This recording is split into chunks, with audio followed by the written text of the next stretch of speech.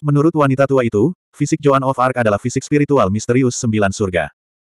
Meskipun tidak ada yang pernah mendengar tentang fisik seperti itu, Lu Song dan Iblis dapat dengan jelas mendengar suara gembira wanita tua itu pada saat itu. Bagaimana fisik yang bisa mengguncang seorang sage bisa menjadi sederhana? Itu benar-benar fisik yang luar biasa. Terlebih lagi, menurut Lu Song, energi yang meluapkan Joan of Arc pada saat itu telah melampaui kemurnian tingkat tertinggi, dan masih terus meningkat. Apa maksudnya? Terlebih lagi, dia hanyalah seorang martial venerate. Bagaimana jika dia adalah seorang martial king? Bagaimana jika dia adalah yang perkasa? Bagaimana jika dia menjadi seorang sage? Kurva evolusi seperti itu sungguh tidak dapat dibayangkan. Tidak mengherankan jika sage legendaris pun muncul secara langsung. Fisik spiritual misterius sembilan surga. Istana Suantian. Semua orang di aula memikirkan apa sebenarnya yang diwakili oleh kedua nama ini. Namun, tidak peduli seberapa banyak mereka mengobrak-abrik ingatan mereka, tidak ada catatan tentang hal seperti itu. Namun, setelah penjelasan Lu Song, emosi semua orang sedikit tenang. Mungkinkah, Linger dan yang lainnya masih memiliki kesempatan untuk kembali? Tuan Tua Kiong memandang Lu Song dengan penuh harap dan bertanya.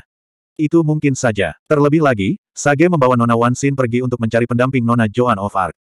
Oleh karena itu, menurutku jika Nona Joan of Arc bersikeras untuk kembali, Sage tidak akan menghentikannya. Lu Song berkata dengan ragu. Bagaimanapun, itu hanya tebakannya saja. Kemudian, aula kembali sunyi. Semua orang memandang Feng Chen. Dialah satu-satunya yang berhak berbicara mengenai masalah ini. Dia bisa mengendalikan besarnya masalah ini. Bagaimanapun, dia adalah ayah Feng Hao. Aku akan memberitahu Feng Hao tentang hal ini ketika dia kembali. Feng Chen berkata perlahan dengan ekspresi berat. Suan-Suan menghela nafas lega.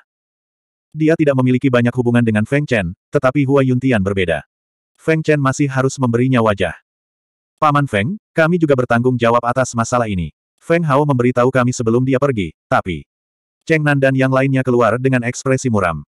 Hal ini khususnya terjadi pada Cheng Nan. Hubungan persaudaraannya dengan Feng Hao tidak dapat disangkal. Setelah hal seperti itu terjadi, dia benar-benar tidak tahu bagaimana menjelaskannya kepada Feng Hao. Hatinya dipenuhi dengan rasa bersalah dan menyalahkan diri sendiri yang mendalam. Semakin dia memikirkannya, semakin dalam alisnya berkerut. Dia menggigit bibirnya dan setetes darah mengalir dari sudut mulutnya. Itu bukan salahmu. Feng Chen melangkah maju dan membantu mereka berdiri satu persatu. Aku yakin Hauer tidak akan menyalahkanmu.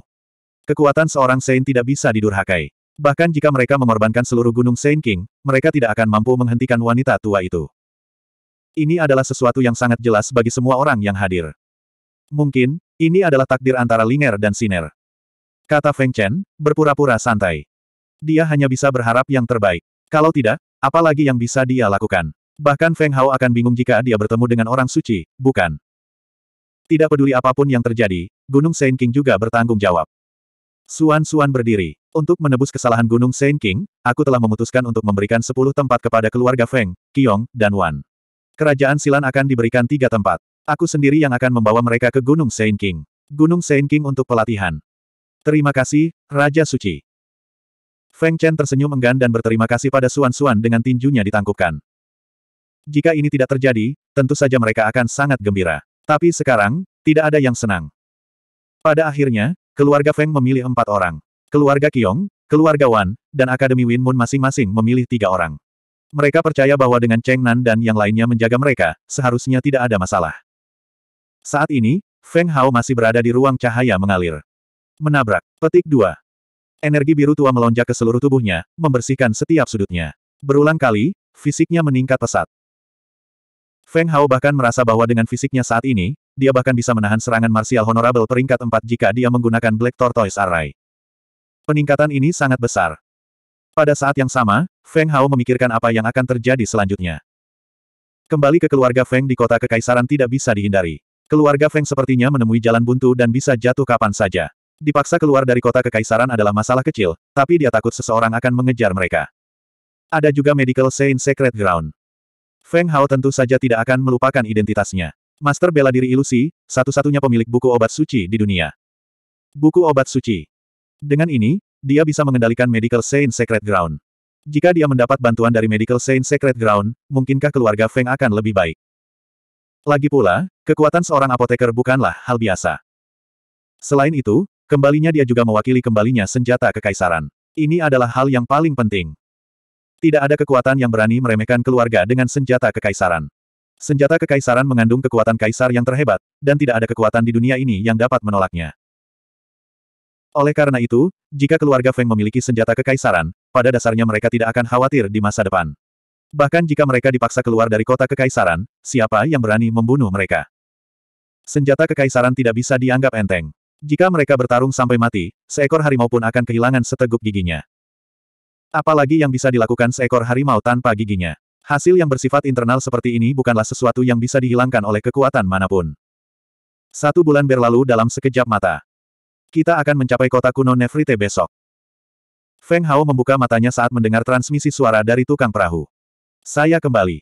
Feng Hao menyipitkan matanya. Dia tidak lupa bahwa putra suci Nefrite sangat membencinya ada di sini.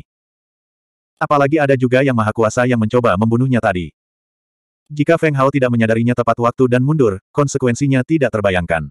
Dia tidak akan memiliki kesempatan sedikit pun untuk melawan di hadapan Yang Maha Kuasa. Oleh karena itu, dia harus mencari tahu siapa yang mencoba membunuhnya. Itu sangat penting. Dia memiliki perasaan yang samar-samar bahwa Yang Maha Kuasa bukanlah orang biasa, atau dia tidak akan berani mengambil tindakan di depan banyak orang. Dia yakin tidak ada yang berani mengganggu bisnisnya. Feng Hao tidak bisa mengabaikannya. Apakah dia bisa melarikan diri jika bertemu dengannya di luar? Sama sekali tidak. Sehari berlalu dengan sangat cepat ketika mereka terus berspekulasi. Tidak lama kemudian, titik cahaya putih tiba-tiba muncul di hadapan semua orang di cakrawala hitam pekat tanpa batas. Ada awan putih dan langit biru di sana. Mendesis. Sebuah kapal besar yang terbuat dari bahan hitam pekat berlayar keluar dari Flowing Light Space dan melayang di atas lapangan umum. Itu tampak seperti kapal perang kuno, dan memancarkan aura yang luar biasa. Energinya tersapu, dan semua orang di sekitar minggir. Hanya beberapa lelaki tua yang tidak bergerak. Swoosh, swoosh. Satu demi satu sosok terbang keluar dari kabin dan pergi ke tempat yang berbeda. 672. Astaga! Feng Hao melompat keluar dari kabin kapal dan berdiri di alun-alun. Dia mengalihkan pandangannya ke sekelilingnya, namun dia tidak menemukan sosok lelaki tua yang sebelumnya bertanggung jawab atas kapal tersebut. Sebaliknya, dia melihat sosok familiar lainnya. Segera, alisnya menyatu erat. Yang terpilih ada di sini. Yang terpilih ada di sini. Sambil berteriak kaget, semua orang menoleh untuk melihat sosok yang menyerupai matahari yang terik. Putra suci Nefrite masih berpakaian putih. Wajahnya tampan, dan matanya bersinar seperti terik matahari. Tidak ada sedikit pun emosi di wajahnya. Lingkaran cahaya pijar secara alami mengelilingi tubuhnya, membuatnya tampak seperti dewa matahari, mengesankan dan menakjubkan. Di sampingnya ada seorang pria dengan wajah cerah dan senyuman lembut. Dia tidak memiliki aura yang sama dengan putra suci Nefrite, tetapi sikapnya yang tenang memberitahu semua orang bahwa dia tidak sesederhana kelihatannya. Itu adalah putra suci Mang Utara. Untuk memfasilitasi aliansi, pemusnahan tanah ini, Putra Suci Mang Utara telah bekerja tanpa kenal lelah. Dia praktis menjadi antek Putra Suci Nefrite. Hal ini membuat Putra Suci Nefrite sangat bangga. Ketika mereka berdua masuk ke alun-alun transportasi, mereka secara alami melihat Feng Hao. Keduanya hanya bisa menatap kosong ke arahnya. Seseorang yang mereka pikir sudah mati, kini hidup dan sehat di hadapan mereka. Bagaimana mungkin mereka tidak kaget? Kamu belum mati. Putra suci Nefrite berjalan lurus menuju Feng Hao, auranya yang tak kasat mata mengintimidasi dan mengintimidasi. Para pengamat memberi jalan untuknya. Kita harus tahu bahwa Feng Hao pasti memasuki salah satu dari sembilan surga, tetapi dia belum keluar setelah lebih dari satu hari. Mungkinkah dia menggunakan beberapa hari untuk membunuh binatang buas di dalam? Putra suci Mang Utara juga menyipitkan matanya saat dia mengamati Feng Hao. Dia merasa pemuda di depannya telah menjadi sangat berbeda, tapi dia tidak bisa menentukan dengan tepat apa yang berbeda. Tampaknya pemuda di depannya sudah memiliki kemampuan untuk bersaing dengannya. Itulah perasaan di hatinya. Tentu saja aku tidak akan mati. Sudut mulut Feng Hao sedikit melengkung. Dia mengambil satu langkah ke depan, menempuh jarak 100 meter dengan setiap langkahnya dan muncul di udara dalam jarak 100 meter. Karena kamu di sini, maka tinggallah. Anak suci Nefrite bereaksi dengan cepat. Energi suci putih matahari yang menyala-nyala melonjak dari tubuhnya saat dia melompat berdiri, melesat melintasi langit seperti terik matahari saat dia mengejar. Hehe, mari kita bicarakan hal itu setelah Anda mengejar ketinggalan. Feng Hao bahkan tidak menoleh saat dia langsung terbang ke arah rumah lelang Tianwu. Itulah satu-satunya kesempatannya untuk bertahan hidup, dan satu-satunya tempat di mana putra suci Nefrite tidak berani bertindak liar. Brengsek. Anak suci Nefrite secara alami memahami pikirannya dan menjadi cemas. Dia mempercepat dan menembakkan sinar cahaya ke Feng Hao. Dia sangat jelas bahwa jika dia membiarkan Feng Hao melarikan diri ke rumah lelang Tianwu, dia akan kehilangan kesempatan lagi untuk membunuh Feng Hao. Dia tidak bisa lagi membiarkan musuh seperti itu berkembang. Putra Suci Bei Mang terkejut. Kilatan melintas di matanya saat dia juga melonjak. Pergilah bersama angin. Astaga, astaga. Sinar cahaya melesat ke mana-mana, tapi Feng Hao menghindari semuanya. Namun, rumah-rumah di bawahnya menderita akibatnya. Satu demi satu sosok membubung ke langit, tetapi ketika mereka melihat bahwa itu adalah putra suci Nefrit, mereka menahan amarah mereka dan turun. Siapa di wilayah Nefrite yang berani menyinggung putra suci Nefrite? Itu dia. Banyak yang mengenali Feng Hao. Melihat mereka berdua bertarung lagi di kota kuno, semua orang menjauh, takut terjebak dalam baku tembak. Astaga, astaga. Setelah beberapa suara pelan, empat lelaki tua melayang di udara, wajah mereka dipenuhi amarah. Namun, ketika mereka melihat salah satu dari mereka adalah putra suci Nefrite, mereka juga membeku. Rupanya, mereka muncul karena mendengar suara perkelahian. Empat tetua, cepat hentikan dia. Wajah putra suci Nefrite berseri-seri ketika dia melihat keempat lelaki tua itu. Oh tidak, Jantung Feng Hao berdetak kencang. Wajahnya pucat pasi saat dia melangkah ke dalam kehampaan ke arah yang berlawanan. Ketika keempat lelaki tua itu mendengar teriakan putra suci Nefrite, mereka secara alami tahu apa yang sedang terjadi. Mereka menyebar, masing-masing mengambil sudut. Aura mereka terlihat melonjak dan beriak, menyebabkan ruang di sekitar mereka bergejolak seperti air pasang. Astaga! Begitu Feng Hao melangkah keluar dari ruang cahaya mengalir, dia merasakan tekanan yang tak tertandingi menyapu ke arahnya. Dia bahkan tidak punya waktu untuk bereaksi sebelum dikirim terbang. Darah segar berceceran di udara dan seluruh tubuhnya berlumuran darah. Membekukan. Orang tua itu mengulurkan tangannya. Energi tanpa batas berdesir dan membentuk sangkar, menjebak Feng Hao di dalam dan mencegahnya bergerak. Brengsek.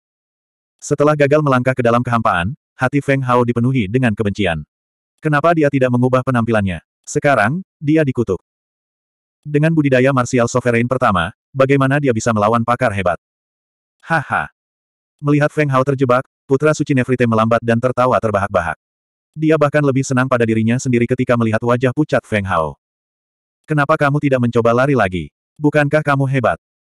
Dengan senyum sinis dan seringai puas di wajahnya, dia memancarkan seberkas cahaya yang menembus dada Feng Hao. Darah menghujani. Adegan itu sungguh tragis. Putra suci Nefrite dengan sengaja menyiksa Feng Hao. Dia telah menarik kekuatannya, meninggalkan tubuh Feng Hao yang memar dan memar. Daging dan darah terbelah di mana-mana. Sungguh pemandangan yang mengerikan untuk dilihat. Berhenti. Suara dingin dan agak serak terdengar, menyapu hati semua orang seperti angin dingin, menyebabkan mereka menggigil tanpa sadar. Pergerakan putra suci Nefrite terhenti tiba-tiba. Seorang pria berpakaian hitam berdiri di sampingnya, sama sekali mengabaikan energi ilahi matahari yang melonjak dari tubuh putra suci. Energi ilahi dapat membakar segala sesuatu yang dilewatinya, bahkan ujung jubahnya pun terangkat. Dia memegang belati hitam pekat di leher putra suci Nefrite. Sensasi yang menusuk tulang menyebabkan tubuh putra suci Nefrite menjadi kaku dan wajahnya pucat. Pada saat itu, putra suci Nefrite merasa hidupnya ada di tangan pria berpakaian hitam itu. Dengan gerakan sekecil apa pun, kepalanya akan dipenggal. Adegan itu terpampang di mata semua orang. Mereka semua kehabisan kata-kata dan tidak bisa berkata-kata. Putra suci Nefrite dengan fisik matahari ilahi telah diculik. Uhuk-uhuk. Feng Hao batuk darah, wajahnya seputih seprai. Menyesuaikan obat untuk menyembuhkan luka di tubuhnya, tatapannya menyapu pria berpakaian hitam dan dia berteriak kaget. Samsara. Benar sekali, pria yang memancarkan aura sedingin es itu tidak lain adalah Samsara. Dia mendengarkan Sueyan dan tiba di kota kuno Nefrite sebulan yang lalu. Dia tidak pernah pergi, menunggu kabar tentang Feng Hao. Keributan tadi terlalu hebat, jadi dia bergegas ketika mendengar keributan itu. Lepaskan putra suci kami, atau kami akan memastikan kamu mati tanpa mayat. Keempat lelaki tua itu berteriak serempak. Aura mereka memenuhi langit saat mereka menekan sisi samsara. 673. Ledakan, ledakan. Tekanan yang sangat besar dan tak terbatas muncul, mengejutkan langit. Guntur yang teredam bergemuruh, membuat orang merasa seolah-olah ada gunung besar yang menekan mereka, hampir mencekik mereka. Beberapa orang dengan kultivasi yang lebih lemah semuanya jatuh ke tanah, memandang keempat lelaki tua itu dengan ngeri. Ini adalah empat makhluk tertinggi. Jika mereka bergabung, siapa yang bisa melawan mereka? Kerumunan mundur seperti air pasang surut, hanya berhenti ketika mereka berada di luar jangkauan aura. Mendesis. Senyuman dingin tersungging di sudut mulut Samsara. Dia tidak berbicara, tapi lengan yang memegang belati hitam pekat itu bergerak sedikit. Dengan kilatan darah, belati itu mengiris leher putra suci Nefrite, memotong jauh ke dalam dagingnya dan menyebabkan darah menyembur keluar. Belati yang tampaknya biasa itu telah mengabaikan semua pertahanan putra suci Nefrite dan langsung memotong dagingnya. Bagaimana ini mungkin? Sambil melayang di dekatnya, Putra Suci Mang Utara juga menjadi pucat karena ketakutan. Matanya membelalak dan jantungnya bergetar, tidak mampu lagi mempertahankan ketenangan sebelumnya. Putra Suci Nefrite memiliki tubuh ilahi matahari, salah satu konstitusi teraneh di dunia. Itu adalah konstitusi yang eksklusif untuk dewa-dewa kuno. Tidak ada keraguan tentang pertahanan dan kekuatannya. Namun, pria berpakaian hitam di depannya sepertinya mengabaikan semua itu. Seolah-olah energi ilahi matahari tidak ada dan tidak dapat mempengaruhi dirinya sama sekali. Dia bukan satu-satunya. Semua orang yang hadir terperangah. Mungkinkah? Putra suci Mang Utara bergidik saat melihat belati berbentuk sabit di tangan Samsara, ketakutan melintas di matanya. Legenda mengatakan bahwa organisasi pembunuh nomor satu di dunia menyembah dewa kematian.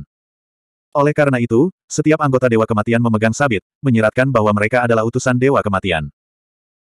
Setiap anggota Dewa Kematian adalah seorang pembunuh alami dengan kekuatan yang menakutkan. Mereka bergerak tanpa jejak, membunuh tanpa meninggalkan jejak, dan membunuh dengan satu serangan. Di mata dunia, mereka adalah Dewa Kematian. Namun, Dewa Kematian sudah lama mengasingkan diri. Tidak ada yang pernah melihat pembunuh mereka selama ratusan ribu tahun, dan hampir semua orang telah melupakan keberadaan organisasi pembunuh nomor satu. Namun kini, seorang pria berpakaian hitam dengan sabit di tangannya berdiri tepat di depannya. Bagaimana mungkin dia tidak kaget? Semakin dia memikirkannya, semakin dingin perasaan putra suci Beimang. Jika orang seperti itu ingin membunuhnya, bagaimana dia bisa menolak? Dia tidak menyangka bahwa Samsara, yang selama ini mengikuti Sueyan di makam kuno pertarungan surga, sebenarnya adalah dewa pembantaian. Sekarang setelah dia muncul, dia pasti datang untuk Feng Hao. Putra suci Nefrite sangat menyadari hal ini. Hatinya tenggelam, dan wajahnya menjadi pucat. Kengganan melintas di wajahnya. Dia tahu bahwa tidak mungkin dia membunuh Feng Hao kali ini. Dia tidak bisa tidak menyesal tidak membunuhnya dengan satu serangan. Jangan menyerang. Keempat tetua sangat ketakutan sehingga mereka menyebarkan aura mereka. Salah satu dari mereka berteriak ketakutan, dan kepanikan terlihat di wajah mereka. Mereka tahu bahwa jika mereka terus mendorong, mereka tidak punya pilihan selain mengumpulkan mayat Nefrite. Biarkan dia pergi. Samsara menatap dingin ke arah keempat tetua. Bibirnya sedikit terbuka, dan kata-katanya yang sedingin es keluar dari bibirnya dengan nada yang tidak perlu dipertanyakan lagi. Ini adalah pertama kalinya dia melakukan sesuatu seperti penculikan, jadi dia belum terbiasa. Biarkan putra suci kita pergi dulu. Salah satu tetua berteriak dengan ekspresi buas. Putra suci Nefrite tidak hanya dipermalukan, tetapi mereka bahkan lebih dipermalukan. Bagaimana mereka bisa membiarkan putra suci mereka diculik sementara mereka berempat hadir? Jika kabar ini tersiar, bagaimana mereka masih punya wajah untuk menunjukkan wajah mereka? Oleh karena itu, mereka sangat membenci samsara. Jika mereka mempunyai kesempatan, mereka akan menyerang seperti kilat. Huff. Mata samsara menyipit dan dia mendengus. Dengan sedikit gerakan tangannya, pedang itu meninggalkan bekas darah di leher putra suci. Darah menggenang di kolam, dan tenggorokannya terlihat samar-samar. Jika dipotong, putra suci tidak akan bisa hidup. Jangan, kami akan melepaskannya. Tetua sebelumnya berteriak panik dan melepaskan pengekangannya pada Feng Hao untuk menunjukkan ketulusannya. Uhuk-uhuk. Feng Hao batuk lagi seteguk darah.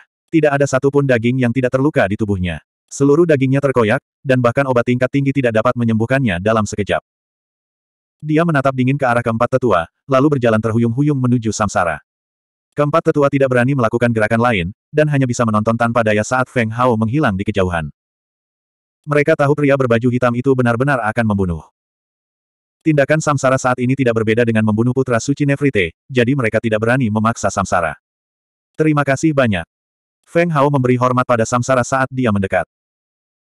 Dia secara kasar menebak bahwa Sueyan pasti telah melihat bahwa dia akan menghadapi kesengsaraan ini dari fisiognominya, jadi dia membiarkannya bereinkarnasi di sini. Dia tidak bisa menahan rasa terima kasihnya terhadapnya. Sudut bibir Samsara melengkung saat jejak kegembiraan melintas di hatinya. Tidak ada keraguan bahwa tindakannya telah memenangkan persahabatan pemuda itu. Sementara itu, putra suci Nefrite mengertakkan gigi dan menatap Feng Hao. Pemuda inilah yang membuatnya kehilangan muka berkali-kali. Dia membencinya karena kalah lagi dan lagi. Dia memiliki konstitusi ilahi, namun dia berulang kali menderita di tangan pemuda berpenampilan biasa ini. Dia tidak bisa menerima ini. Orang-orang yang berada di kejauhan tidak bisa berkata-kata. Mereka semua merasa ngeri ketika mereka diam-diam menyaksikan peristiwa yang terjadi. Beberapa orang yang lebih pengecut segera melarikan diri, tidak berani berlama-lama. Bagaimanapun juga, putra suci Nefrite adalah seseorang yang telah menjadi Holy Lord. Sekarang setelah dia diculik, tidak diragukan lagi itu adalah noda terbesar dalam catatan hidupnya. Mengingat pikirannya yang sempit, bagaimana dia bisa mentolerir hal ini? Tidak ada yang bisa memastikannya, jadi yang terbaik adalah berhati-hati.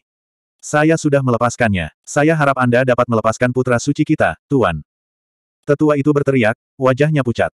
Pada titik ini, mereka takut Samsara akan membunuhnya. Huff. Samsara meliriknya dengan dingin, lalu akhirnya mengarahkan pandangannya pada Feng Hao. Ayo pergi ke rumah lelang Tianwu. Sudut bibir Feng Hao sedikit melengkung saat dia berbicara dengan acuh tak acuh. Wajah keempat tetua itu segera berubah dari hijau menjadi putih. Jejak ketakutan bahkan melintas di mata mereka. Mereka tidak bisa melupakan apa yang terjadi terakhir kali, terutama tetua yang ditampar oleh tetua Feng. Dia terbaring di tempat tidur selama setengah bulan sebelum pulih sepenuhnya. Sekarang setelah mereka memikirkannya, tubuh mereka masih terasa sedikit sakit. Namun, situasi di hadapan mereka tidak memberi mereka pilihan. Mereka hanya bisa mundur dan mengikuti jauh di belakang. Putra suci Beimang sedikit terkejut, tapi dia juga mengikutinya. Akan ada pertunjukan yang bagus untuk ditonton. Mata banyak orang berbinar kegirangan. Sebenarnya, bukan hal yang buruk melihat orang-orang tinggi ini diinjak-injak oleh orang lain, bukan. 674. Saat keributan bertambah, hampir semua orang di kota Nefrite mendengar bahwa putra suci Nefrite telah diculik oleh pemuda yang sama dari terakhir kali, Hao Fen. Seketika, ribuan ombak besar menerjang dan semua orang diliputi keterkejutan. Hao Fen ini terlalu berani. Mungkinkah dia tidak tahu bahwa penguasaan penuh atas fisik ilahi bahkan bisa dengan mudah membunuh seorang suci? Siapa yang bisa melindunginya? Sejauh yang diketahui semua orang, jika tubuh dewa tidak mati, maka Feng Hao pasti sudah mati. Itu adalah kesimpulan yang sudah pasti. Astaga, astaga. Feng Hao memimpin, diikuti oleh Samsara dan Putra Suci Nefrite. Lebih jauh lagi di belakang adalah empat penjaga kota dan Putra Suci Beimang.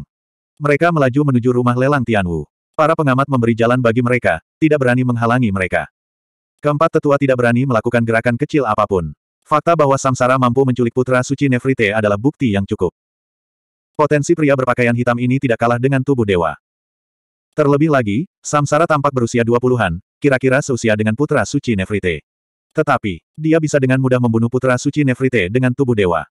Bagaimana orang seperti itu bisa menjadi sederhana? Jika dia tumbuh dewasa dan membalas dendam pada tanah suci Nefrite, siapa yang bisa menghentikannya? Keempat tetua bergidik hanya memikirkan hal itu. Siapa yang dia sakiti? Mereka meratap dalam hati. Itu hanya kesalahpahaman kecil, tapi sudah meningkat sedemikian rupa. Tidak ada yang menduga hal ini. Jika Feng Hao sederhana dan terbunuh karena kesalahpahaman, itu bukan masalah besar. Namun, pemuda yang asal-usulnya tidak diketahui ini juga sangat kuat. Dia tidak hanya menyebabkan putra suci mereka menderita kerugian, dia bahkan mendapat perlindungan dari orang-orang di belakang rumah lelang Tianwu. Dan sekarang, Dewa pembunuh super muncul entah dari mana untuk melindunginya. Siapa dia? Inilah yang ingin diketahui semua orang. Tindakan luar biasa pemuda ini telah menentukan bahwa ia akan menjadi luar biasa di masa depan. Mereka bahkan menebak murid inti negara adidaya mana yang dimiliki Feng Hao. Jika tidak, mengapa rumah lelang Tianwu akan melindunginya? Mengapa dewa pembunuh ini ada di sisinya? Tanah suci Nefrite ada di dalamnya kali ini. Saat ini, semua orang memikirkan hal yang sama. Beberapa orang luar bahkan mengikuti dari jauh dengan mentalitas menonton pertunjukan yang bagus, menunggu pertunjukan dimulai. Di rumah lelang bela diri surgawi, keributan terdengar dari jauh. Orang-orang di dalam rumah lelang bela diri surgawi berjalan keluar dan melihat dua pemuda menyandera putra suci. Api besar. Wang Kang sedikit terkejut dan berkata tanpa berpikir. Dia mengerti bahwa pemuda ini adalah anggota klan Feng, dan dia bahkan mungkin adalah murid inti. Alasannya adalah karena Feng Hao memiliki liontin giok bulan perak milik murid inti klan Feng. Bukankah dia pergi ke daerah terlarang Mang Utara untuk mengambil Mang Akonite Utara? Wang Kang terkejut. Dia tahu bahwa Feng Hao telah pergi ke daerah terlarang Mang Utara dengan tujuan untuk mendapatkannya. Jika dia tidak berhasil, dia pasti tidak akan kembali. Apakah dia benar-benar berhasil? Wang Kang sangat terguncang, matanya berkedip karena keheranan yang mendalam. Pemuda ini telah menaklukkan area terlarang, mengabaikan iblis kuno di dalam, mengambil relik suci, dan keluar tanpa cedera. Bukan hanya itu saja, namun kali ini, dia pergi ke kawasan terlarang Mang Utara, sebuah tempat yang penuh dengan racun yang bahkan bisa membunuh para Sein. Bagaimana dia bisa berhasil? Mungkinkah area terlarang di dunia ini tidak berarti apa-apa baginya? Apakah dia reinkarnasi seorang kaisar agung? Emosi Wang Kang bergulir berulang kali. Pada saat ini, dia bahkan curiga bahwa pemuda ini mungkin adalah jagoan tersembunyi terakhir dari klan Feng. Namun, penampilan Elder Feng tidak palsu. Bahkan para tetua inti tidak mengetahui keberadaannya. Oleh karena itu, dia tidak bisa langsung memastikan kebenarannya. Melihat situasi ini, bagaimana mungkin Wang Kangan tidak mengetahui apa yang sedang terjadi? Putra suci Nefrite pasti sudah bergerak lagi. Sialan kamu, beraninya kamu menggunakan fisik matahari ilahi untuk bergerak di kota kuno lagi dan lagi. Aku akan membuatmu membayar kali ini. Wang Kang mengutuk dalam hati, lalu berbalik dan menuju pelataran dalam. Bagaimana mungkin dia? Stewart Sun, yang baru saja keluar dari rumah lelang, tercengang saat melihat Feng Hao berlumuran darah di depannya. Tetua klan mengatakan bahwa dia telah membunuh anak itu di ruang cahaya mengalir. Sekarang setelah dia melihat orang hidup lagi, dia tidak dapat mempercayainya. Dia benar-benar selamat. Pramugara Sun terkejut. Pemuda ini, yang hanya seorang martial venerate, telah melarikan diri dari flowing light space. Terlebih lagi, dia terjebak dalam badai cahaya yang mengalir. Bahkan ahli hebat pun akan mati dalam situasi seperti ini, tapi dia secara ajaib selamat. Seketika, ekspresinya berubah jelek, dan dia berjalan ke depan dengan wajah muram. Dia mengira Feng Hao datang untuk menyelesaikan masalah dengannya. Bahkan jika dia adalah anggota keluarga matahari, apa yang dia lakukan telah melanggar reputasi rumah lelang Tianwu. Selama dia terungkap, dia akan menghadapi hukuman berat, dan dia bahkan mungkin dieksekusi. Oleh karena itu, dia harus menghentikan Feng Hao. Berhenti di sana. Dia langsung berjalan menuju Feng Hao, menghalangi jalannya, dan dengan dingin berkata, ini adalah rumah lelang Tianwu. Pergi sekarang, atau aku akan langsung membunuhmu. Saya mencari pramugari Wang Kang. Feng Hao melihat sekeliling, tapi dia tidak menemukan Wang Kang. Wajahnya langsung tenggelam saat dia menjelaskan. Dia telah bertemu Stewart Sun dua kali, dan dia tidak memiliki kesan yang baik terhadapnya. Terlebih lagi, nada bicara Stewart Sun sepertinya penuh dengan kebencian terhadapnya, sehingga membuat Ye Futian bingung. Apakah kamu pikir kamu bisa menemui pengurus rumah lelang Tianwu hanya karena kamu mau? Pergi sekarang, atau jangan salahkan aku karena tidak kenal ampun. Mendengar bahwa Feng Hao ingin bertemu Wang Kang, pengurus Sun yakin Feng Hao sudah mengetahui tentangnya dan akan melaporkannya. Niat membunuh segera muncul di hatinya. Putra suci Nefrite dan orang-orang di belakangnya tercengang ketika mereka melihat pengurus Sun dihentikan. Permainan macam apa ini? Namun, melihat pengurus rumah lelang Tianwu memperlakukan Feng Hao dengan sangat kejam, putra suci Nefrite dan keempat tetua merasa senang. Saya benar-benar di sini untuk menemui pengurus Wang Kang. Tolong bantu saya. Ekspresi Feng Hao sedikit berubah. Dia meninggikan suaranya lagi, berharap Wang Kang bisa mendengarnya. Teman-teman, tangkap dia. Ekspresi Stewart Sun berubah, dan dia berteriak tanpa penjelasan apa pun. Astaga, astaga. Dua suara lembut terdengar, dan dua pria kekar dengan aura melonjak muncul di belakangnya. Raja bela diri. Ekspresi Feng Hao berubah drastis. Dia tidak mengira Stewart Sun bersikap begitu tidak masuk akal. Kamu berani menimbulkan masalah di rumah lelang Tian Wuku. Bunuh dia. Bibir Stewart Sun melengkung menjadi senyuman sinis saat dia menunjuk ke arah Feng Hao. Aura pembunuhnya melonjak, dan kedua pria kekar itu perlahan mendekati Feng Hao. Untuk video bebas iklan ini, silakan buka Martial King. 675. Pergantian peristiwa yang dramatis membuat semua orang lengah. Penyelamat pemuda itu sedang mengusirnya, dan sepertinya, dia akan membunuhnya. Putra suci Nefrite dan keempat tetua sangat gembira. Selama rumah lelang Tianwu tidak ikut campur, mereka yakin bisa mempertahankan keduanya sebelum mereka di sini. Bakat Feng Hao dan Samsara membuat mereka merasa terancam. Mereka tidak dapat lagi menoleransi keberadaan mereka. Hanya dengan membunuh mereka barulah mereka merasa nyaman. Terutama Samsara, Dewa Kematian. Di mata mereka, dia adalah ancaman terbesar. Keempat tetua saling bertukar pandang dan mengumpulkan kekuatan mereka, siap menyerang pada saat itu juga. Untuk sesaat, Feng Hao berada dalam situasi tanpa harapan. Dia sangat cemas, tapi Wang Kang masih belum muncul. Apakah dia dipindahkan karena penampilan terakhirnya terlalu bagus? Jantung Feng Hao berdetak kencang memikirkan hal itu. Bukan tidak mungkin. Jika itu yang terjadi, dia benar-benar akan dikutuk hari ini. Orang-orang dari rumah lelang Tianwu tidak akan menahan diri hanya karena dia telah menculik putra suci Nefrite. Samsara tidak bisa bereaksi tepat waktu. Dia tidak tahu apakah Feng Hao ada di sini untuk meminta bantuan atau apakah dia sedang menggali kuburnya sendiri. Dihadapkan pada tekanan dari dua raja bela diri, ekspresinya menjadi gelap saat dia mengalami dilema. Jika dia ingin menyergap kedua raja bela diri itu, dia harus mengambil keputusan. Bunuh putra suci atau biarkan dia pergi. Pilihan mana pun akan menarik perhatian keempat tetua di belakangnya, yang hanya akan memperburuk situasi. Namun jika itu yang terjadi, Feng Hao yang terluka parah tidak akan mampu menangkis kedua raja bela diri itu. Hasilnya adalah kematian. Mengapa kamu bersikeras membunuhku? Feng Hao bertanya pada Stewart Sun dengan mata menyipit. Dia menjadi tenang di hadapan dua raja bela diri. Dia tidak mengerti. Dia tidak punya dendam pada Stewart Sun, jadi mengapa dia melakukan ini? Apa alasan di balik semua ini? Omong kosong. Kamu datang ke rumah lelangku untuk menimbulkan masalah. Jika aku tidak membunuhmu, di manakah martabat rumah lelang itu? Pramugara Sun menghindari tatapan Feng Hao dan berteriak, bunuh mereka semua, jangan tinggalkan satu pun yang selamat. Iya. Kedua lelaki kuat itu menjawab. Segera, asal bela diri mereka melonjak dan menekan Feng Hao. Berhenti. Suara tua terdengar seperti guntur. Semua orang merasa pikiran mereka kacau dan kepala mereka berputar-putar. Tubuh kedua pria berotot itu bergetar dan energi bela diri yang mereka kental tersebar. Darah mengalir dari sudut telinga mereka dan mereka berlutut di tanah, tidak berani mengangkat kepala. Teriakan ini ditujukan khusus pada mereka berdua. Apalagi mereka tahu betul siapa orang yang berteriak itu. Seketika, hati mereka dipenuhi keputusasaan. Namun, Mereka tidak mengerti apa yang telah mereka lakukan. Setelah teriakan ini, orang-orang di tempat kejadian mengalami berbagai macam perubahan. Pengurus Sun, putra suci Nefrite, dan keempat tetua semuanya pucat. Mereka secara alami mengenali pemilik suara itu, dan fakta bahwa dia telah angkat bicara sekarang berarti dia akan melindungi pemuda itu lagi.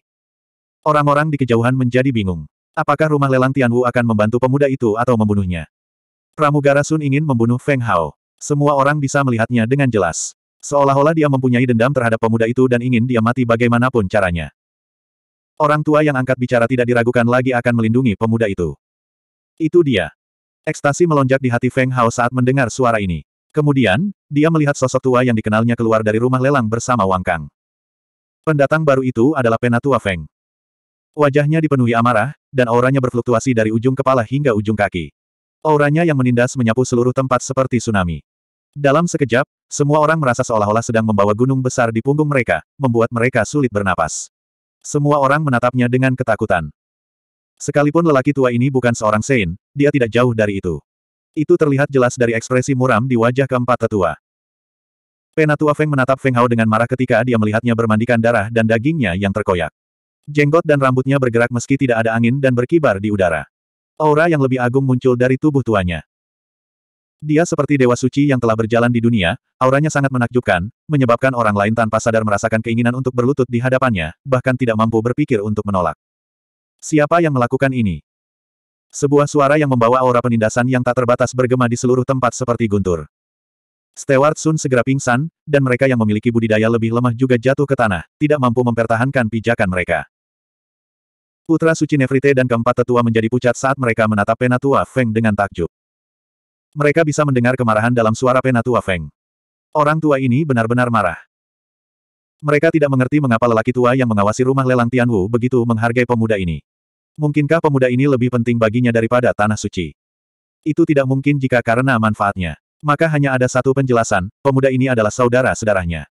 Itulah satu-satunya penjelasan. Kalau tidak, tidak peduli seberapa besar potensi seorang pemuda, dia tidak bisa dibandingkan dengan tanah suci. Mungkinkah Hati Feng Hao bergetar saat melihat lelaki tua yang mendidih itu. Kemudian, dia melihat Wang Kang berdiri di samping lelaki tua itu dan menatapnya dengan senyuman yang tak bisa dijelaskan. Mungkinkah dia sudah tahu? Feng Hao terkejut ketika ekspresi kebingungan melintas di matanya. Dia tidak mengerti bagaimana lelaki tua ini mengetahui identitasnya. Dia jelas belum mengetahuinya sejak terakhir kali dia pergi. Mengapa dia mengungkapkan identitasnya setelah pergi? Samsara menghela nafas lega saat melihat pemandangan ini.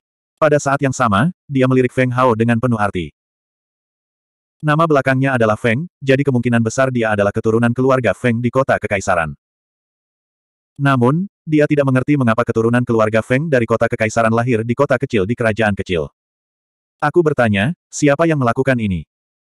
Penatua Feng bahkan lebih marah ketika tidak ada yang mengatakan apa pun. Aura besar menyapu dan menyelimuti putra suci Nefrite dan keempat tetua, menghancurkan mereka dengan kejam. Of! Mereka berlima batuk darah dan keempat tetua jatuh dari langit. Samsara melirik putra suci Nefrite dan menyingkirkan belatinya. Dia berdiri diam di samping Feng Hao dan menyaksikan semuanya terjadi dengan mata dingin. Bang, bang. Penatua Feng membuat gerakan meraih dengan satu tangan dan menarik keempat tetua itu. Seperti burung yang sayapnya patah, mereka jatuh dengan menyedihkan di alun-alun depan rumah lelang Tianwu. Pakaian mereka compang camping, rambut acak-acakan, dan ada darah di sudut mulut. Penatua Feng hanya menggunakan auranya, namun dia telah membuat keempat kultivator perkasa itu berada dalam kondisi yang menyedihkan. Tidak ada yang meragukan bahwa jika dia ingin menghancurkan mereka sampai mati, dia tidak membutuhkan banyak usaha sama sekali. 676. Seluruh tempat itu sunyi. Semua orang menatap lelaki tua yang marah itu dengan ketakutan, keterkejutan di hati mereka tak tertandingi. Mereka semua tahu bahwa lelaki tua di depan mereka adalah pembangkit tenaga listrik super yang mengawasi rumah lelang Nefrite Martial Sky, tetapi mereka tidak pernah membayangkan bahwa dia akan sekuat ini. Empat yang maha kuasa. Di tangannya semudah elang menangkap anak ayam. Mereka berempat tidak berdaya di hadapannya, apalagi putra suci Nefrit. Dia bahkan tidak bisa memobilisasi kekuatan ilahi matahari meskipun dia menginginkannya. Di kejauhan, ekspresi putra suci Beimang menjadi gelap. Melihat lelaki tua yang mendidih itu, untuk pertama kalinya, dia tidak mau mengambil risiko. Sebaliknya, dia diam-diam mendarat di atas sebuah gedung dan menyaksikan situasi yang terjadi. Dia adalah orang yang cerdas. Dia tahu kapan dia harus bertahan, kapan tidak, dan orang seperti apa yang bisa dia lawan. Jika dia melangkah maju sekarang, dia pasti akan ditampar wajahnya. Itu sudah pasti. Tapi sekarang, dia benar-benar meragukan identitas asli Feng Hao. Dia bersekongkol dengan seseorang dengan atribut petir dan seseorang dari organisasi Asura. Sekarang, lelaki tua yang mengawasi rumah lelang Tianwu ini bersedia menyinggung tempat suci untuknya. Semua ini menjadi bukti bahwa identitasnya tidak sederhana. Baru sekarang dia menyadari bahwa dia sebenarnya tidak tahu apa-apa tentang pemuda ini. Apakah aku perlu mengulanginya lagi? Jenggot dan rambut Elder Feng berkibar tertiup angin saat dia berjalan perlahan. Papan lantai keras di bawah kakinya runtuh saat dia mendekati keempat lelaki tua itu. Auranya seperti gunung yang menjulang tinggi, menekan mereka begitu erat hingga mereka bahkan tidak bisa meluruskan tubuh mereka. Darah menetes dari sudut mulut putra suci Nefrite saat dia mengertakkan gigi. Wajahnya pucat, dan seluruh tubuhnya gemetar. Meski dia tidak berlutut, punggungnya bungkuk. Setiap tulang di tubuhnya berderit, dan suara retakan terdengar dari waktu ke waktu. Sun Bae, kita berhasil. Keempat lelaki tua itu mengakui kesalahannya dan menundukkan kepala, tidak berani menatap mata geram lelaki tua itu. Mereka memahami bahwa masalah ini tidak dapat ditutup-tutupi. Untungnya, mereka menyalahkan diri mereka sendiri untuk mencegah tubuh dewa mereka dipermalukan lagi. Apakah kamu benar-benar melakukannya? Mata Elder Feng sedikit menyipit saat kilatan berbahaya muncul di matanya. Gelombang tekanan yang terlihat dengan mata telanjang perlahan bergulir seperti gelombang pasang, menyebabkan keempat tetua itu berlutut dan tenggelam ke dalam tanah. Apakah kamu benar-benar mengira aku pikun? Penatua Feng berteriak dengan marah. Suaranya keras dan mengintimidasi, menyebabkan semua orang yang hadir gemetar. Keempat tetua dan putra suci Nefrite adalah yang pertama menanggung beban terbesarnya, darah menetes dari sudut telinga mereka. Mulai sekarang, jika ada di antara kalian yang berani berbohong, aku akan membunuh salah satu dari kalian. Suara lelaki tua itu seperti guntur, menghantam hati mereka dengan keras. Semua wajah mereka pucat pasi, wajah mereka pucat pasi. Mereka menundukkan kepala dan tidak mengatakan apa pun. Baiklah, kamu tidak akan mengatakannya lagi, kan? Penatua Feng mendengus dan mengulurkan tangan, menggenggam putra suci Nefrite. Puci. Putra suci Nefrite batuk lagi seteguk darah. Tetesan darah dewa jatuh ke tanah dan menembus lubang yang dalam. Wajahnya sepucat kertas, dan napasnya lemah. Matanya dipenuhi ketakutan.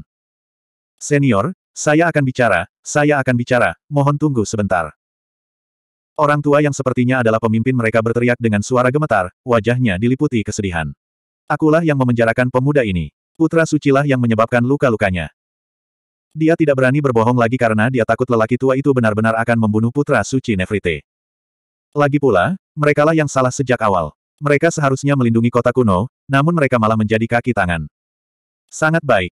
Ekspresi Penatua Feng begitu suram hingga bisa meneteskan air. Kata-katanya mendesis melalui celah di antara giginya. Tamparan. Dia menamparkan wajah putra suci Nefrite yang berubah bentuk karena kekuatan tamparan itu. Darah menyembur keluar saat putra suci terlempar tinggi ke udara dan mendarat di kejauhan. Dia bahkan tidak mempunyai kekuatan untuk bangun. Ini adalah kedua kalinya tubuh dewanya ditampar, dan itu terjadi di depan mata semua orang.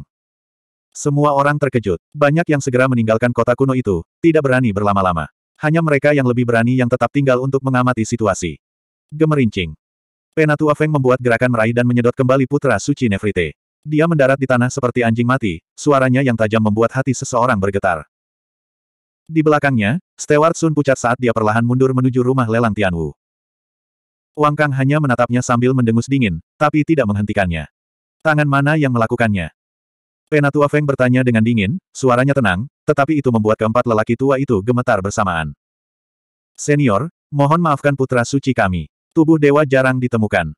Orang tua yang memimpin itu meratap lagi. Apakah karena ingatanku buruk? Penatua Feng meliriknya dengan dingin, menyebabkan dia menundukkan kepalanya, tidak berani menatap matanya. Bukankah kamu sudah menggunakan alasan ini terakhir kali?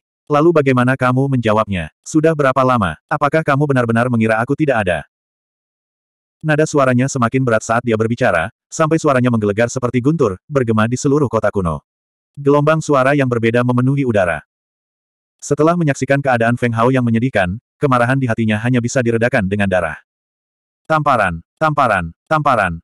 Semakin dia memikirkannya, dia menjadi semakin marah. Dia mengangkat tangannya dan menamparkan putra suci Nefrite berulang kali. Darah ilahi menyembur dan gigi tanggal dari waktu ke waktu. Wajah putra suci Nefrite berubah bentuk hingga tak bisa dikenali lagi. Itu bengkak seperti kepala babi. Aku akan membiarkanmu pamer. Aku akan membiarkanmu menjadi begitu sombong. Anda hanyalah tubuh dewa. Apakah kamu benar-benar mengira kamu adalah dewa? Penatua Feng mengutuk saat dia memukul putra suci, pukulannya semakin lama semakin berat hingga wajah putra suci Nefrit hampir pecah. Penonton tidak mengerti mengapa dia begitu marah. Hanya Wang Kang, Feng Hao, dan Samsara yang menyadari apa yang sedang terjadi. Namun, ini membuat mereka menaikkan status Feng Hao lagi dan lagi. Mereka percaya bahwa setelah kejadian ini, semua faksi akan menganggapnya sebagai seseorang yang tidak mampu mereka provokasi. Bahkan jika tubuh dewa dipukuli sampai mati, itu bahkan lebih tidak layak untuk disebutkan. Tamparan, tamparan, tamparan. Keempat lelaki tua itu mengertakkan gigi saat melihat kondisi putra suci Nefrite yang menyedihkan dan mencoba mengerahkan energi mereka untuk melawan. Tanpa berkata apa-apa lagi, Penatua Feng menamparkan mereka beberapa kali. Keempatnya memuntahkan darah dan terkubur di dalam tanah. Mereka makan beberapa suap tanah, tulang mereka hancur, dan mereka tidak bisa bangun. Mendesis. Semua orang menghirup udara dingin. Mata mereka dipenuhi dengan keterkejutan dan ketakutan yang mendalam. Orang tua itu tidak menahan diri sama sekali. Apa perbedaan antara apa yang dia lakukan dan membunuh mereka? Orang tua itu jelas-jelas mempermalukan mereka. Mulai sekarang, mereka tidak akan bisa mengangkat kepala mereka di depan orang lain yang levelnya sama. 677. Beraninya kamu menyerangku. Kamu mendekati kematian. Rambut dan janggut Elder Feng berkibar tertiup angin saat dia melotot dengan marah. Suaranya seperti guntur, sangat keras hingga membuat orang pusing. Tatapannya menyapu seluruh penonton, tapi tidak ada yang berani menatap matanya. Bahkan putra suci Beimang yang jauh menundukkan kepalanya. Bagi seseorang yang bisa mengawasi rumah lelang Tianwu, bukan hanya kekuatannya yang tidak sederhana. Statusnya bahkan lebih penting. Setiap orang yang memiliki kualifikasi untuk mengawasi rumah lelang Tianwu pasti memiliki dukungan besar terhadap mereka. Bang bang bang. Memikirkan hal ini, Penatua Feng melambaikan tangannya dan mengirimkan empat aliran energi, menyeret keempat tetua Langye ke udara. Lubang yang dalam segera tertinggal di alun-alun, dan darah berceceran di mana-mana. Hanya dalam waktu singkat, keempat tetua sudah tidak bisa dikenali lagi. Hidung mereka berlubang, gigi mereka patah, dan tubuh mereka berlumuran darah. Mereka tampak seperti hantu yang ganas, pemandangan yang sangat menakutkan. Pa! Nefrite Saint Child masih dalam keadaan linglung dan ingin mengambil kesempatan untuk melarikan diri, tetapi setelah ditemukan, tamparan lain mendarat di wajahnya. Wajahnya berubah bentuk hingga tak bisa dikenali lagi, dan hampir seluruh giginya tanggal. Dia jatuh ke tanah di kejauhan seperti anjing mati, tidak bisa bangun. Lari, kenapa kamu tidak tunjukkan padaku cara larinya? Penatua Feng menariknya dengan satu tangan dan menegurnya sambil memegangi matanya. Jika seorang Martial Saint melarikan diri darinya, bukankah dia akan menjadi bahan tertawaan jika berita ini tersebar? Anak suci Nefrite tidak lagi memiliki kekuatan untuk membalas. Dia dipenuhi rasa takut dan tidak menginginkan apa pun selain melepaskan diri dari cengkeraman lelaki tua itu. Dia memiliki tubuh ketuhanan matahari, dan dia ditakdirkan untuk memiliki identitas mulia sejak lahir. Ke mana pun dia pergi, orang-orang akan memujinya. Tidak ada seorang pun yang pernah tidak menaatinya, apalagi mengalami kemunduran. Dia belum pernah menghadapi situasi seperti ini sebelumnya. Baru sekarang dia menyadari bahwa seseorang dapat mengabaikan tubuh ilahi dan statusnya sebagai orang suci dan membunuhnya. Dia tidak bisa menahan perasaan menyesal untuk pertama kalinya. Dia seharusnya tidak memprovokasi pemuda itu. Hari ini, aku akan membunuhmu, kamu momok. Penatua Feng mengeluarkan ledakan energi, ingin membunuhnya. Semua orang ketakutan. Apakah tubuh ilahi yang sulit didapat dalam seratus masa kehidupan akan dicekik begitu saja? Senior, jangan. Keempat lelaki tua itu berteriak ketakutan. Mereka berusaha mati-matian untuk melawan, tetapi tidak berhasil. Kekuatan tirani orang tua itu seperti sepuluh ribu gunung, menekannya begitu kuat hingga mereka bahkan tidak bisa menggerakkan satu jari pun. Senior tua, tunggu. Suara lemah terdengar dari belakang lelaki tua itu, menyebabkan dia menghentikan apa yang dia lakukan dan berbalik. Dia melihat Feng Hao yang berlumuran darah perlahan berjalan ke arahnya dengan senyum tipis di wajahnya. Apa? Ekspresi lelaki tua itu melembut ketika dia bertanya dengan cara yang agak lembut. Nada suaranya sangat berbeda dari sebelumnya. Saya ingin memohon kepada senior untuk melepaskannya. Petik 2. Feng Hao menghentikan langkahnya dan berhenti tidak jauh dari sisi lelaki tua itu sambil berbicara dengan tulus. Biarkan dia pergi. Orang tua itu tertegun dan memandangnya dengan heran. Semua orang yang hadir sama. Keempat lelaki tua, Putra Suci Nefrite, dan Putra Suci Beimang semuanya bingung dan mulai menebak niat sebenarnya. Mereka tidak berani percaya bahwa Feng Hao memiliki niat baik. Tidak ada seorang pun yang punya alasan untuk memaafkan musuhnya dalam situasi seperti ini. Apalagi setelah kejadian ini, kedua belah pihak tidak bisa berdamai. Membiarkan Putra Suci Nefrite pergi sekarang sama dengan melepaskan seekor harimau kembali ke pegunungan. Jika tubuh ilahi matahari mencapai kesuksesan yang fenomenal, lelaki tua di hadapan mereka mungkin tidak akan mampu menekannya. Jadi, Membunuh tubuh dewa sekarang adalah pilihan terbaik. Tidak perlu khawatir tentang konsekuensinya. Mem. Feng Hao mempertahankan senyumnya dan mengangguk dengan lembut. Itu hanya tubuh dewa. Senior tidak perlu melakukannya sendiri. Tetapi, alis penatua Feng berkerut. Mempertahankan fisik ilahi ini memang bukanlah keputusan yang bijak. Selain itu, klan Feng saat ini berada dalam kesulitan terbesarnya. Jika penyelesaian besar fisik ilahi menambah penghinaan pada cedera di masa depan, itu akan menjadi pukulan besar bagi klan Feng. Namun, melihat ekspresi tulus Feng Hao, dia tetap menurunkan putra suci Nefrite. Uhuk-uhuk. Putra suci Nefrite berjongkok segera setelah dia mendarat, batuk tanpa henti dan memuntahkan darah. Alisnya tertutup saat dia melihat pemuda itu perlahan mendekat. Apakah rasanya enak? Sudut bibir Feng Hao sedikit melengkung saat melihat putra suci Nefrite, kata-katanya diwarnai dengan nada main-main dan ejekan. Hah! Hampir semua gigi putra suci Nefrite telah tanggal. Dia tidak dapat berbicara untuk sementara waktu, jadi dia hanya bisa mendengus dingin dan berusaha berdiri. Bibirnya yang berkedut dan tubuhnya yang gemetar menunjukkan bahwa dia sedang tidak enak badan. Namun, dia tetaplah pria yang bangga. Harga dirinya tidak memungkinkan dia menundukkan kepalanya di hadapan seseorang yang lebih lemah darinya. Jika itu masalahnya, dia lebih baik mati. Apa kamu tahu kenapa? Saat dia berbicara, ekspresi Feng Hao berubah serius, dan kilatan dingin berkedip di matanya. Dia memiliki titik awal yang rendah dan tidak pernah menikmati pengasuhan apa pun. Kekuatannya diperoleh melalui kerja kerasnya sendiri. Terlebih lagi, dia baru berkultivasi selama kurang lebih enam tahun. Dalam enam tahun, dia telah beralih dari murid bela diri tingkat tiga ke penguasa bela diri tahap kedua. Siapa yang bisa bilang kecepatannya lambat?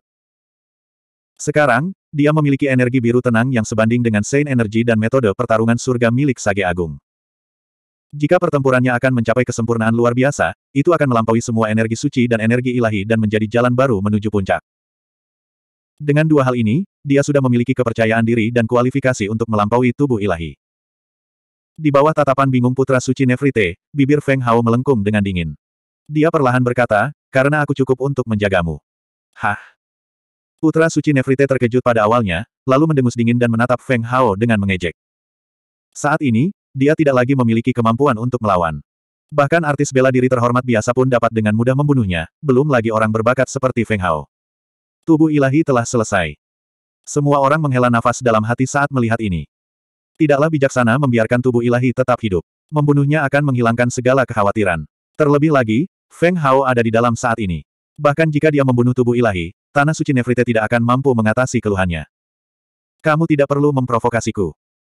Bibir Feng Hao melengkung dengan dingin saat dia memandang dengan jijik pada putra suci Nefrite. Aku bukan kamu, orang yang suka memanfaatkan orang lain saat sedang terpuruk. Aku akan memberimu waktu tiga tahun untuk pulih. Setelah kamu selesai, kita akan bertarung di luar kota kuno, hidup atau mati. Apakah kamu berani menerimanya? Bermandikan darah, pemuda itu berdiri tegak di lapangan kosong seperti pohon pinus. Kata-katanya nyaring saat dia menantang tubuh ilahi untuk berduel di depan puluhan ribu orang.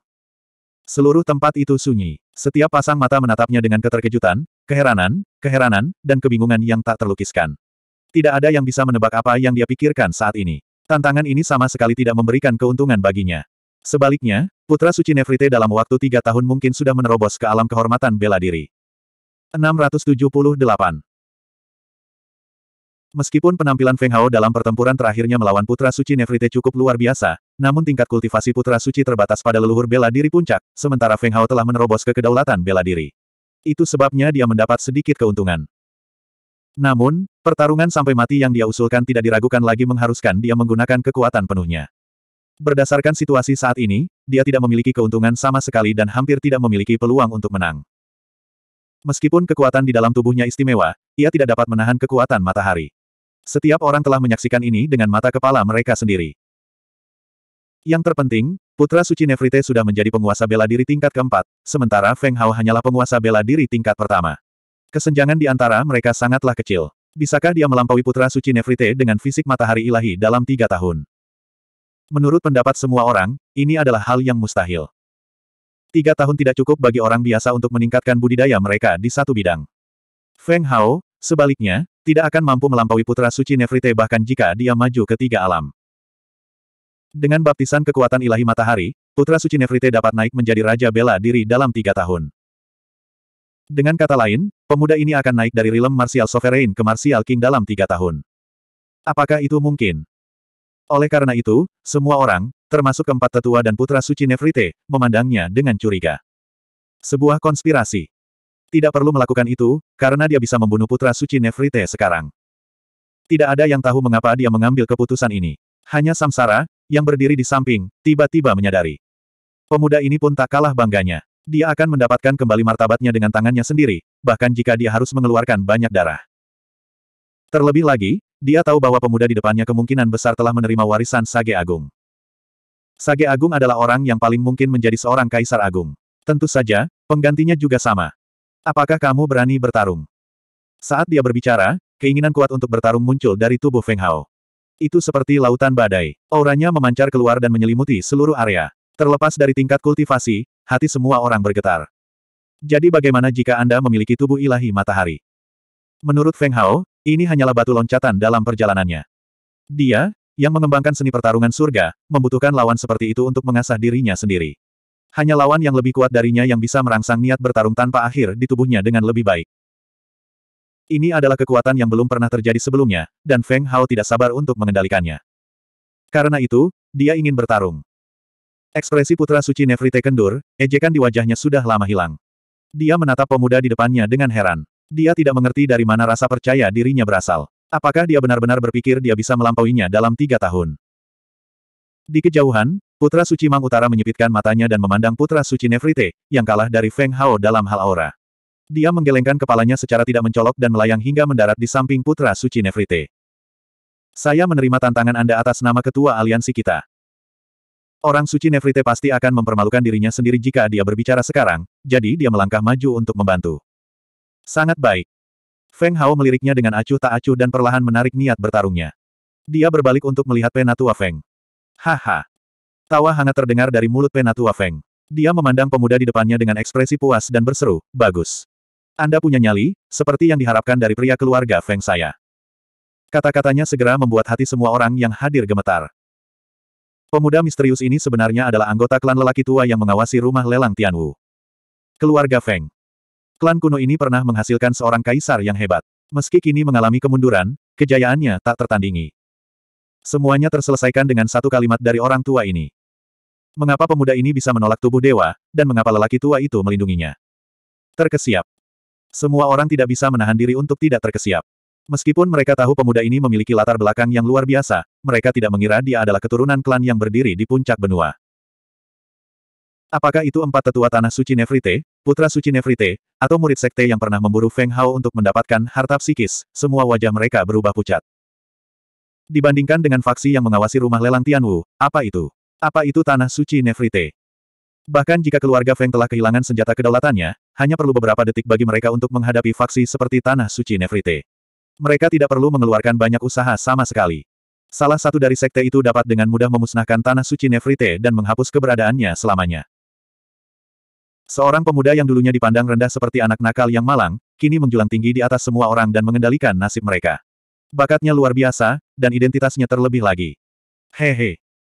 Setelah jeda sesaat, Feng Hao tersenyum tipis dan tidak membantah kata-kata lelaki tua itu. Darah lebih kental dari air. Ketika lelaki tua itu menjadi marah padanya sekarang, dia sudah mengakui rumah Feng yang tidak dikenal ini. Kekerabatan garis keturunan mereka mengikat nasib mereka dengan erat, berbagi kehormatan dan aib. Haha.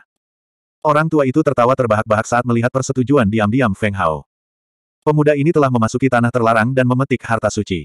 Itu saja sudah cukup untuk membuktikan kehebatannya. Dilihat dari situasinya, dia kembali dengan hasil panen melimpah dari tanah terlarang Beimang.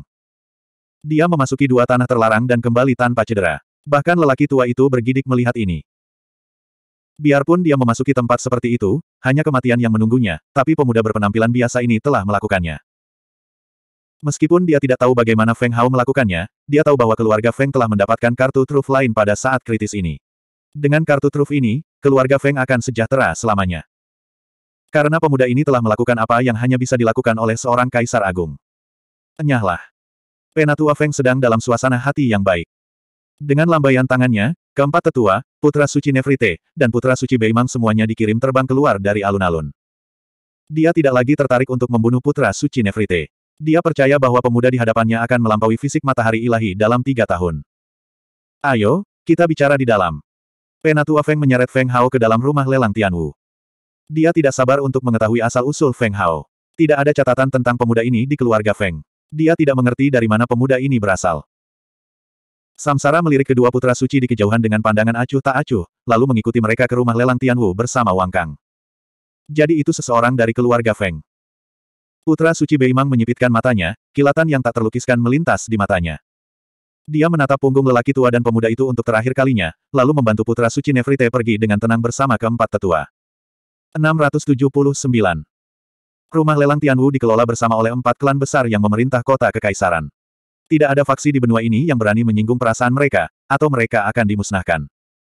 Putra suci Nefrite dan keempat tetua khawatir tentang hal ini. Pada awalnya, mereka menduga bahwa Feng Hao adalah murid dari klan tersembunyi yang keluar untuk mendapatkan pengalaman. Menyinggung orang seperti itu bukanlah masalah besar, tetapi segalanya berbeda sekarang. Rumah Feng di kota kekaisaran adalah entitas transenden di tanah suci Nefrite. Dibandingkan dengan itu, rasanya seperti membandingkan bukit kecil dengan gunung yang menjulang tinggi. Oleh karena itu, mereka semua takut Feng Hao akan menaruh dendam. Jika dia benar-benar melanjutkan masalah ini, tanah suci Nefrite akan mengalami pukulan telak. Ah! Penatua yang memimpin menghela nafas pelan, matanya dipenuhi kegelisahan. Tiga tetua lainnya juga sama. Putra suci Nefrite telah kehilangan kilau sebelumnya, dan cahaya di matanya meredup. Dia tampak sedikit tertekan. Menjadi musuh yang kuat bagi tanah suci bukanlah hal yang dia inginkan. Yang membuatnya khawatir adalah pertempuran dalam tiga tahun. Kemenangan. Dia takut hal itu akan menjadi pukulan yang lebih besar bagi tanah suci. Mengalahkan. Itu mungkin berarti tanah suci sedang menuju kekalahan dan kehancuran. Dapat dikatakan bahwa kedua jalur tersebut sama-sama jalan buntu. Saat melihat pemandangan ini, mata putra suci Beimang, yang duduk di samping, berkedip-kedip, dan kilatan cahaya melintas di matanya. Ehem, ehem. Dia terbatuk ringan beberapa kali untuk menarik perhatian mereka. Sambil tersenyum lembut, dia bertanya, apakah kamu tahu tentang Radiant Alliance? Aliansi Cahaya. Awalnya mereka tidak mengerti, tapi mereka segera mengerti. Tanah terlarang Beimang saat ini sebenarnya adalah faksi tambahan dari Radiance Alliance. Saat itu, invasi Radiance Alliance telah menimbulkan keributan. Sebagai salah satu tanah suci, bagaimana mungkin mereka tidak mengetahuinya? Sebenarnya, kamu mungkin tidak tahu, tapi Radiance Alliance berencana memasuki kota kekaisaran. Sudut mulut putra suci Beimang melengkung membentuk senyuman penuh arti saat dia berbicara perlahan. Apa, Radiance Alliance akan memasuki kota kekaisaran? Mereka berlima terkejut, dan pupil matanya membesar. Sangat sedikit orang yang tahu tentang masalah ini, tetapi itu bukan lagi rahasia di mata para eselon atas. Selama bertahun-tahun, Radiance Alliance telah berkembang pesat, dan mereka telah merekrut banyak seniman bela diri yang tangguh. Selain itu, mereka tidak menolak siapa pun. Bahkan jika mereka adalah orang yang paling jahat dan jahat, mereka akan tetap menerimanya. Terlebih lagi, slogan mereka adalah membersihkan dunia dari kejahatan. Apalagi efeknya juga sangat bagus. Setelah beberapa orang jahat masuk, mereka akan membuka lembaran baru paling lama dalam setahun. Mereka akan menjadi orang baik setingkat bodhisattva. Meratapi keadaan alam semesta dan mengasihani nasib umat manusia adalah gaya konsisten mereka. Meskipun banyak orang memiliki mentalitas ragu-ragu, orang-orang ini akan berbuat baik sepanjang hidup mereka sampai mereka mati, sehingga tidak ada yang bisa mencari-cari kesalahan mereka. Dan sekarang, kota itu sudah berkembang hingga bisa bersaing dengan keluarga aristokrat di kota kekaisaran. Itu benar. Di bawah tatapan kaget mereka, Putra Suci Beimang perlahan mengangguk dan mengakuinya. Mendesis. Beberapa dari mereka tersentak, dan sedikit keheranan melintas di mata mereka. Meskipun mereka tahu bahwa Radiance Alliance sangat kuat dan dapat memusnahkan Tanah Suci, mereka tidak pernah membayangkan bahwa Radiance Alliance telah berkembang ke tingkat yang transenden. Karena aku sudah memberitahumu, maka aku tidak akan menyembunyikan apa pun darimu. Putra Suci Beimang tersenyum riang dan berkata dengan misterius, aku tidak akan menyembunyikannya darimu. Kali ini, Aliansi Cahaya memilih klan Feng untuk memasuki kota kekaisaran. Apa, klan Feng? Beberapa dari mereka gemetar ketika mereka memandangnya dengan keheranan yang tak terlukiskan. Bukankah ini berarti Radiance Alliance ingin mengusir klan Feng keluar dari kota kekaisaran? Haha, tanpa senjata kaisar, klan Feng sudah menjadi harimau ompong. Tidak ada yang perlu ditakutkan. Senyuman putra suci Beimang masih lembut, namun kata-katanya menyebabkan hati mereka berlima menjadi dingin. Mereka sepertinya pernah melihat tanah suci Laut Utara di masa lalu. Aliansi besar yang selama ini mengusung slogan meratapi keadaan alam semesta dan mengasihani nasib umat manusia, sebenarnya adalah seekor harimau yang kejam. Sebelumnya, setelah menduduki tanah suci Laut Utara, mereka kejam dan belum menghentikan pengejaran mereka. Sekarang mereka menghadapi klan Feng, mereka mungkin akan melakukan hal yang sama, bukan? Tapi inilah yang mereka inginkan. Jika klan Feng melawan Radiance Alliance, kekuatan mereka akan sangat berkurang.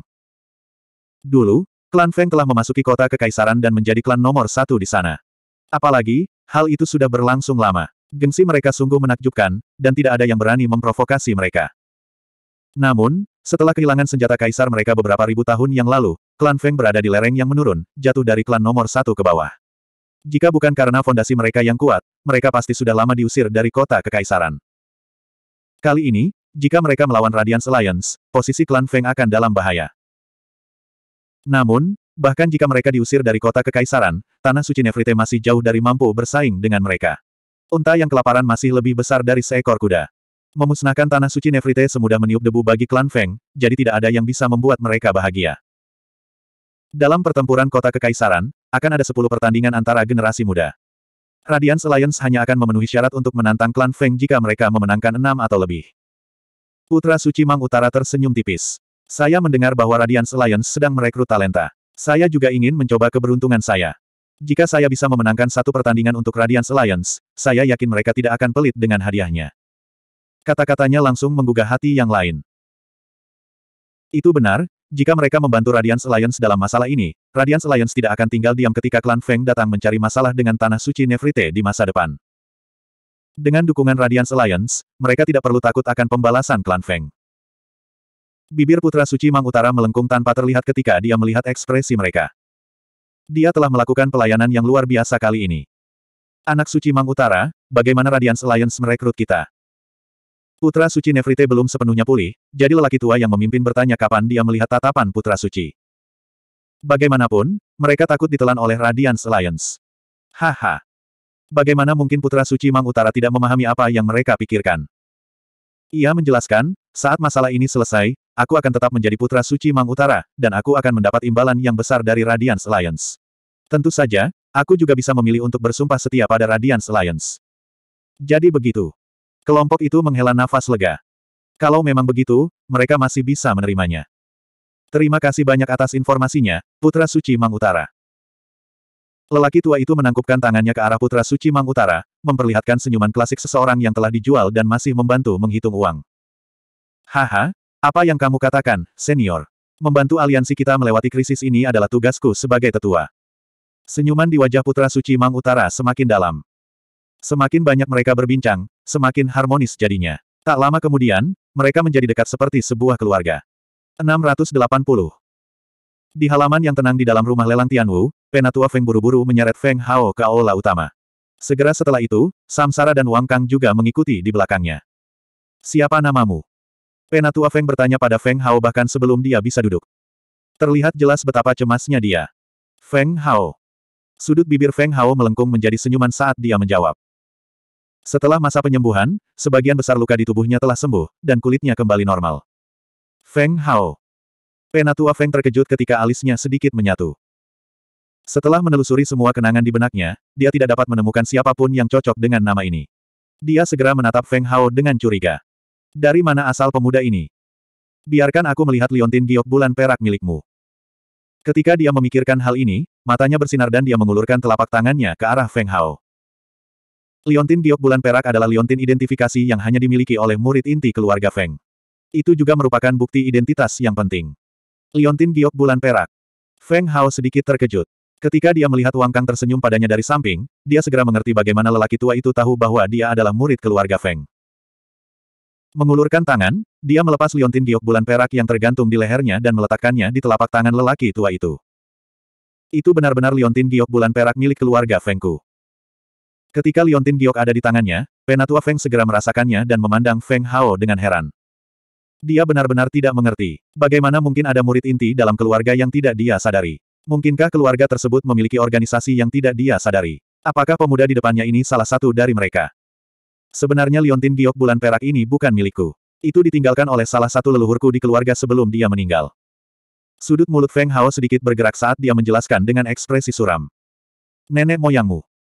Penatua Feng mengerutkan alisnya begitu erat hingga membentuk beberapa. Setiap murid inti klan Feng memiliki catatan yang jelas tentang tempat peristirahatan terakhir mereka. Bahkan jika mereka terjatuh di luar, mayat mereka akan ditemukan. Ini untuk melindungi garis keturunan kaisar agar tidak bocor. Setiap klan besar melakukan hal ini. Namun, jika seseorang benar-benar mempedulikannya, pada kenyataannya, klan Feng memang memiliki murid inti yang tidak memiliki tempat tinggal. Dengan mengingat hal itu, tubuh penatua Feng sedikit gemetar. Setelah itu, gumpalan energi darah muncul dari telapak tangannya dan meresap ke dalam liontin giok bulan perak untuk merasakan garis keturunan di dalam. Pada saat ini, mereka bertiga memperhatikan gerakannya karena ini terkait dengan identitas asli Feng Hao. Jika dialah yang merebutnya, maka itu akan menjadi masalah besar. Berdengung. Beberapa saat kemudian, suara mendengung terdengar dari liontin giok bulan perak di tangan Penatua Feng. Energi darah yang kental menyebar dan berdesir dengan ritme hebat yang tak terlukiskan, mengejutkan hati seseorang. Ia segera melepaskan diri dari tangan Penatua Feng dan melayang di udara, terus bergoyang sambil bersenandung tanpa henti. Irama besar tidak pernah berhenti dan riak mulai terbentuk di ruang sekitarnya. Itu memancarkan aura yang akan menyebabkan jantung seseorang berdebar, memberikan tekanan yang tak tertandingi. Bang bang bang. Meja dan kursi di aula besar terguncang dan langsung terbelah. Setelah itu, mereka hancur menjadi debu oleh aura yang tak terlukiskan. Samsara dan Wang Kang mengedarkan martial yuan mereka untuk melawan. Namun, saat gelombang demi gelombang aura menyapu mereka, ekspresi mereka berubah menjadi jelek. Namun, yang aneh adalah Penatua Feng dan Feng Hao merasa seolah-olah mereka sedang mandi di angin musim semi. Wajah mereka rileks saat menikmati pembersihan aura ini. Seolah-olah mereka sedang berendam di sumber air panas dan tidak ada tekanan sama sekali. Ini adalah garis keturunan kaisar. Penatua Feng membuka matanya dan berteriak kegirangan saat dia menatap liontin giok bulan perak yang terus bergoyang. Bagaimana dia bisa salah mengenai garis keturunan kaisar keluarganya sendiri? Sebagai seorang tetua, meskipun dia tidak memiliki garis keturunan kaisar, dia masih menerima pembersihan aura kaisar. Aura familiar ini memabukkannya dan dia tidak bisa melupakannya. Garis keturunan Kaisar. Samsara dan Wang Kang gemetar. Garis keturunan Kaisar adalah garis keturunan unik yang hanya bisa diwarisi oleh keturunan seorang Kaisar Agung. Garis keturunan Kaisar mengandung pemahaman tentang jalan tertinggi seorang Kaisar Agung. Kekuatannya tidak kalah dengan energi ilahi dan suci. Jika garis keturunan Kaisar dilepaskan hingga batasnya, itu akan menjadi lebih kuat. Namun, setelah bertahun-tahun, garis keturunan ini telah memudar. Di beberapa klan kaisar yang lebih kuno, garis keturunan kaisar telah punah dan tidak ada satu orang pun dengan garis keturunan kaisar yang muncul selama ratusan ribu tahun. Bahkan klan Feng pun tidak jauh lebih baik. Sudah sangat mengesankan bagi seseorang dengan garis keturunan kaisar untuk muncul setelah ratusan ribu tahun. Klan Feng saat ini masih mendapat dukungan dari seseorang dengan garis keturunan kaisar. Itulah sebabnya mereka mampu mempertahankan posisi mereka dengan mantap dan tidak diusir dari kota kekaisaran. Dari sini terlihat betapa pentingnya garis keturunan kaisar. Feng Hao juga sedikit terkejut. Dia tidak tahu bahwa leluhur Feng Ni sebenarnya adalah seseorang dengan garis keturunan kaisar. Terlebih lagi, dia tidak tahu banyak tentang garis keturunan kaisar. Namun, melihat situasi saat ini, dia tahu bahwa garis keturunan kaisar pasti tidak kalah dengan tubuh dewa. Di dunia luar, tidak akan ada satupun tubuh dewa dalam seratus tahun. Namun, klan kaisar kuno semacam ini akan menghasilkan seseorang dengan garis keturunan kaisar setiap seribu tahun. Dari sini terlihat betapa menantangnya surga. Kekuatan apa lagi yang bisa melawan klan kaisar? Ini juga salah satu alasan mengapa beberapa keluarga kuno menjadi makmur. Mungkinkah, itu sebenarnya Liontin Giok leluhur Feng Ni? Setelah Penatua Feng merenung sejenak, dia segera berseru lagi. Matanya menunjukkan ekspresi terkejut. Leluhur Feng Ni. Feng Hao kaget dan menatapnya dengan heran. Teteskan setetes darah dan cobalah. Penatua Feng menoleh padanya dan mendesaknya dengan cara yang agak mendesak. Iya, Feng Hao mengangguk. Dengan sedikit menekuk jarinya, setetes darah mengalir dari sela-sela jarinya. Dengan jentikan ringan, setetes darah mendarat di liontin giok mengambang di bawah tatapan beberapa orang yang hadir. Setelah setetes darah menempel di liontin giok, Penatua Feng jelas sedikit gugup. Setelah beberapa saat, ekspresinya berubah menjadi ekstasi. Ini karena setetes darah yang dikeluarkan Feng Hao telah sepenuhnya meresap ke dalam liontin giok bulan perak. Ini juga berarti Feng Hao memang keturunan dari pemilik liontin giok ini. Kamu adalah keturunan leluhur Feng Ni. Wajah Elder Feng dipenuhi kegembiraan saat dia bertanya dengan suara gemetar. Iya. Di bawah tatapannya, Feng Hao menganggukkan kepalanya. Fiuh. Penatua Feng menghembuskan napas dalam-dalam. Sesaat kemudian, dia menghilangkan ekspresi gembira di wajahnya. Dia mengulurkan tangannya dan memberi isyarat, melepas Liontin Giok. Setelah itu, dia dengan acuh tak acuh melirik Samsara dan Wang Kang, yang telah mundur ke kejauhan. Tanpa mengucapkan sepatah kata pun, dia menarik Feng Hao dan berjalan ke belakang aula. Feng Ni. Wang Kang merenung untuk waktu yang lama, tetapi dia masih tidak dapat menemukan orang yang cocok dengan nama ini. Mereka yang memiliki Kaisar Vena biasanya adalah tokoh terkenal. Namun, dia belum pernah mendengar tentang Feng Ni ini sebelumnya. Dia merasa sedikit bingung. Namun, secara umum, dipastikan bahwa Feng Hao memang anggota klan Feng. Kalau tidak, darahnya tidak akan terserap oleh Liontin Giok. Hal ini membuatnya menarik napas lega.